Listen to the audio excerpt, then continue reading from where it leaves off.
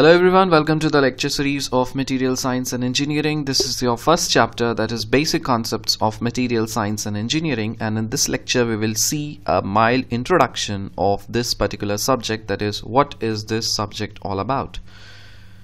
So we know that engineering materials constitute the foundation of technology.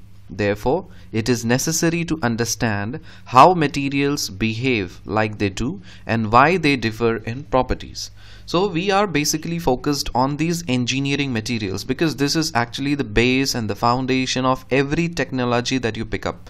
Whatever technology is available in the market, every technology is based on these engineering materials. So it is of course quite necessary to understand how these engineering materials behave and how they work what are the differ difference in their properties such that we could alter the properties and we could create some new materials and we could develop some new materials and improve the properties and lead the foundation or improve the foundation of the technology in a more better way the combination of physics chemistry and the focus on the relationship between the properties of a material and its microstructure is actually the domain of material science so what is telling?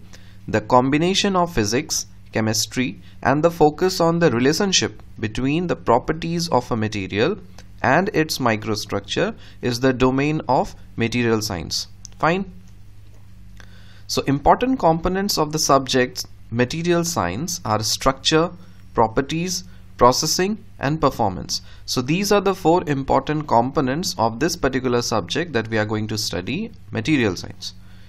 So if you see this diagram carefully, so I can show this with a triangular diagram.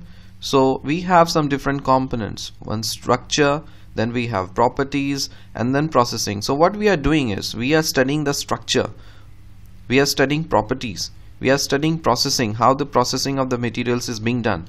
Why? Just in order to improve the performance of that particular material and carry on the technological development that we have.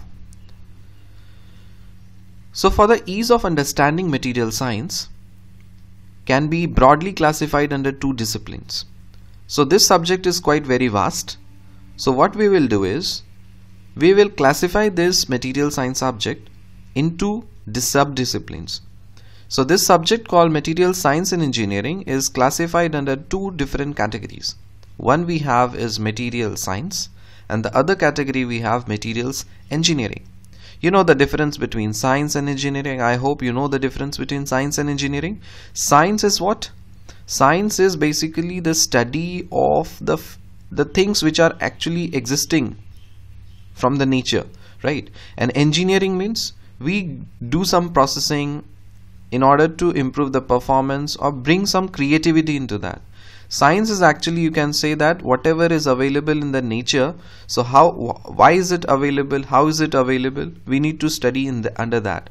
And engineering means we engineer things. We just transform or bring some changes into that. So basically the creativity lies in this particular part.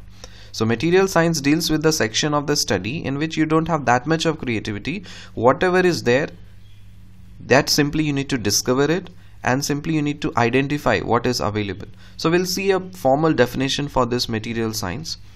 So it deals with the investigating the existing relationship between the structures and the properties of materials.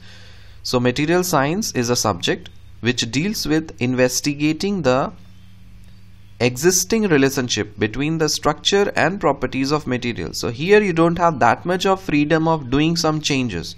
Whatever is there available naturally that is already there. Simply you need to discover it and you need to study certain phenomena.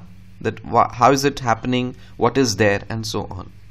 And material engineering what you do it means to engineer the structure of the materials to produce a predetermined set of properties. So here we bring some creativity and we bring some changes and we engineer the structure. We change the structure of the materials to produce a predetermined set of properties. So material science comprises of the structure and the properties and your material engineering consists of processing and performance I hope that difference between this material science and material engineering is clear to you because in many universities and many uh, organizations you'll find this department material science department or material science center you will find another department called department of materials engineering or metallurgical and materials engineering. So i hope today you got a full clarity that what is actually the difference between these two departments or these two subjects or these two centers. So once again so this material science consists of the functions which deals with the structure and the properties and materials engineering deals with processing and performance. I hope it is clear to you. Fine. So see you in the next lecture. Till then bye